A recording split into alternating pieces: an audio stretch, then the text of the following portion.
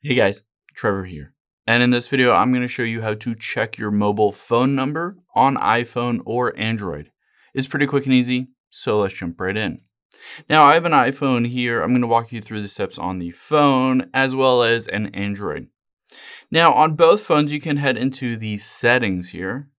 And we're going to tap on cellular on basically your iPhone. And you'll be able to see here immediately you get to your phone number.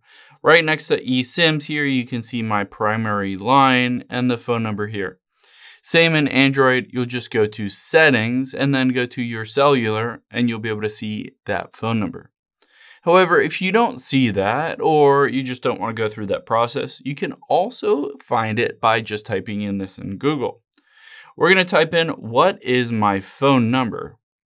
And you can go to this really cool website that allows you to check it. So I'm going to tap on it here. And all you need to do is hit this detect now. Now on here, let's just skip through this ad.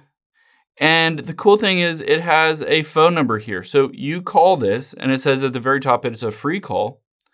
And basically all I'm doing is calling a random phone number. It will not actually answer that phone number.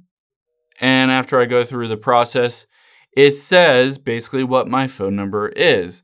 So you're calling this random other phone number that will detect what your phone number is for your phone. And then immediately when you go back here, it will show you exactly what it is along with the country code and area code. I hope this helps. If it did, hit the subscribe button down below and it really helps me out. And I'll catch you on the next one.